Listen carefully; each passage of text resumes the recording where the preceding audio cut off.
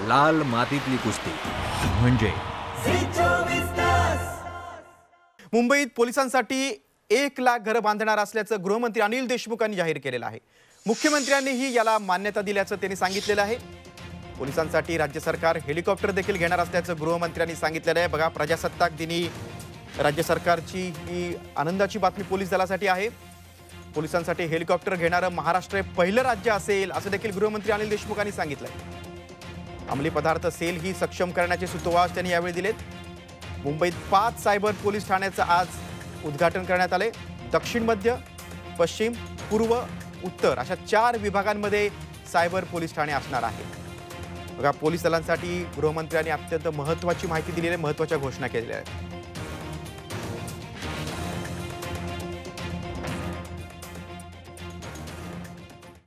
आमचा एक ambition project आहे जो एक लाख घरं महाराष्ट्रामध्ये कशा पद्धतीनं आपल्याला पोलिसांसाठी उभी करता येईल अशा दृष्टीनं हा प्रोजेक्ट आम्ही राखून त्याला आपण मान्यता दिली. त्याबद्दल मी आपलं सुद्धा माननीय मुख्यमंत्री महोदय इथे इथे आपलं आभार मानतो.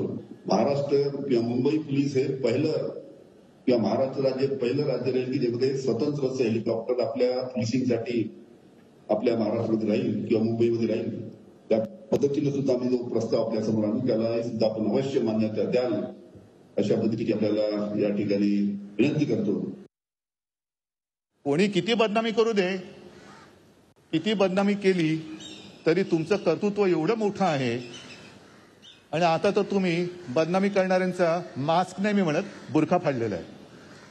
त्यांचीच काळी तोंड तुम्ही जगासमोर आणलेली आहात ही अशी सगळी माणसं आपल्या अवतीभोवती फिरत असताना तुमचा अभिमान हा केवळ राज्याचा मुख्यमंत्री म्हणून मलाच नव्हे तर तुम्ही ज्यांचं ज्यांचं रक्षण करताय त्या तमाम माझ्या महाराष्ट्राच्या माता भगिनी आणि बांधवांना सुद्धा आहे. त्याच्यामुळे तुम्ही अजिबात काळजी करू नका अस्वस्थ होऊ नका निराश होऊ नका. सरकार म्हणून आम्ही पूर्णपणे ताकदीने तुमच्या मागे उभे आहोत.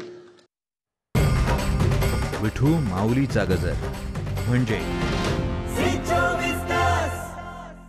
घरी नाही. अभिनंदन. गेली कित्येक वर्ष पारधी समाजातल्या मुलांना शिक्षण देण्यासाठी कार्यरत असणारे समरसता गुरुकुलमच्या गिरीश प्रभुणे यांना पद्मश्री पुरस्काराची घोषणा करण्यात आली.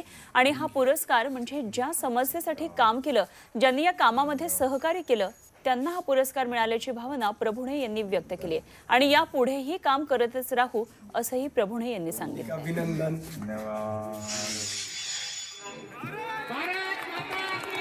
सुनील तटकरे युवा प्रतिष्ठानच्या वतीनं रोहा शहरामध्ये प्रजासत्ताक दिनाचं औचित्य साधून लेहराव तिरंगा प्यारा या उपक्रमाचं आयोजन करण्यात आलं.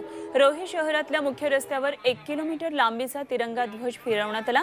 शांततेचं प्रतीक असलेली कबुतरं हवेमध्ये उडवून या उपक्रमाचा प्रारंभ करण्यात आला. जय हिंद वंदे मातरम भारत माता की जय अशा देशभक्तीपर घोषणा आणि गीतांनी वातावरण भारावून गेलं होतं.